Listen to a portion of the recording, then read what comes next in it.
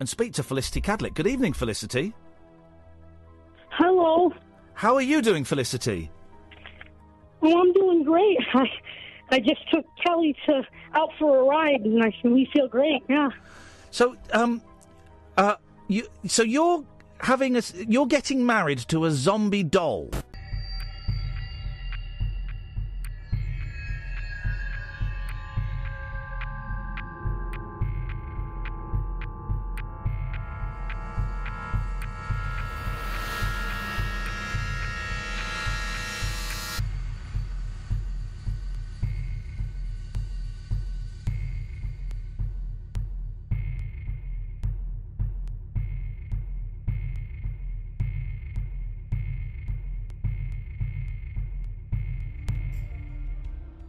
Lately, a ton of you have been tweeting and DMing me about a Facebook account belonging to one Felicity Kadlec Rossi. At first, I honestly had no idea what this was when people asked by name, and once I pulled up the page, it still didn't ring any bells. As far as I could tell, it appeared to be one of your run of the mill creepy Facebook pages, this time with a zombie doll theme and an owner who claimed to be married to one. The pair even had their names tattooed on each other. On the surface, it did appear to be either an attempt at making a creepy viral page or a PR stunt of some sort. I do have other things in the works, so I wasn't sure if I'd even have time to cover this, and if I did, I initially wondered if it would even be enough material to warrant making a video about it. After all, it was just a page with pictures and not much else. What was there to say? Just about to dismiss the whole thing, I decided to Google the name out of curiosity, and to my surprise, there's actually a ton of coverage on Felicity. Again, odd because no one brought this up to my attention or requested that I talk about it late last year when the initial news about her came out. There are actually dozens of articles about Felicity and her zombie doll Kelly, and her story was even covered by Dross several months ago. Now, despite this, everyone asking me what's going on here seemed to have just discovered the account recently and have no idea what to make of it. Unfortunately, I haven't really gotten any specific questions about the page aside from the general WTF, so for those of you who need more context, or maybe if you're wondering if this is a PR stunt, allow me to explain. Majority of the coverage surrounding Felicity is dated around August of 2018. At the time, all the headlines were something along the lines of teenager planning on marrying zombie doll, and that's actually not as clickbait as it sounds. In fact, that's probably the easiest way to summarize what happened.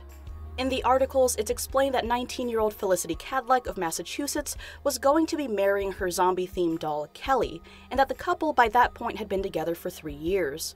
Felicity explains that Kelly had been given to her as a gift at age 13, but also adds that she didn't develop feelings for the doll until age 16, although at the time she denied it. As for where the doll came from, according to Felicity, from the internet, but she doesn't exactly mention what specific site. Over time, Felicity has added other dolls to her collection. For the most part, that's all the articles say. Most of them appear to be copy pasted versions of each other with little substance and an overdependence on the title. Given this, of course, people still have questions. The most pressing, naturally, being if this is some kind of hoax or performance art or PR stunt. And from what I could find, nope, it's real. Some thought this because Felicity is the author of a book titled Zombie Blood, which was released in 2016, and that would have honestly been my first guess as well, but after hearing Felicity talking at length, this isn't the case. Felicity did a 20 minute interview with Lane Lee where she explained various aspects of her relationship with Kelly, including how people tend to react to it. At one point, the topic of mental health comes up, and the host asks Felicity if she's been seeing a therapist or psychiatrist, which Felicity confirms. Note, I bring this up because I've noticed comments asking why Felicity isn't seeing a professional, and to clarify, according to her, she actively is, and the doctor is aware of Kelly. In the interview, Felicity also opens up about the recent loss of her father and her ongoing struggles with depression.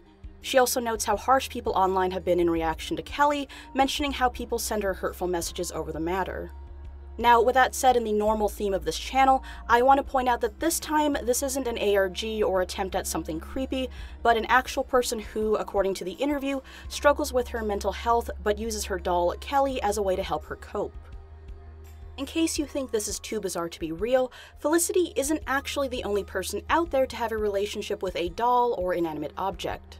Depending on where you're from, you may have already seen many stories like this covered on TV, whether it be in shows or the news. The sexuality is currently known as object sexuality or objectophilia. and some famous cases include both men and women falling for everything from the Eiffel Tower to a projection of a fictional character. The thing is, though, despite these stories being so widespread, not much research has been done on objectophilia, and as such, not much about it is known. All in all, the Felicity Kadlec page is exactly what it appears to be, which I'm sure most people weren't expecting, especially given the current climate of viral creepiness online. But again, this isn't an ARG or something done for entertainment, but rather a real person and her doll. Now, with that said, I hope this cleared up any confusion surrounding this topic, and I'll see you all again soon.